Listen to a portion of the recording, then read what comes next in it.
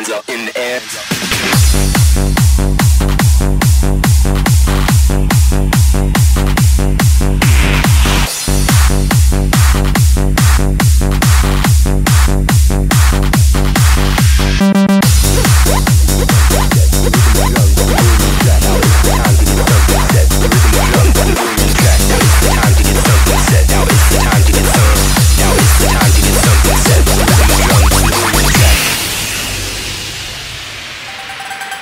check.